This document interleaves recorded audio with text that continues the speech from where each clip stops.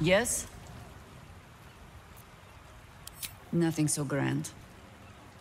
He was just another broken little Bhaalspawn, who tried to clamber to glory over the corpses of others. There was a time when he might have made more of himself. He was certainly given the chance after we threw him down, but he slunk back into his father's shadow instead. There is nothing more to say of him.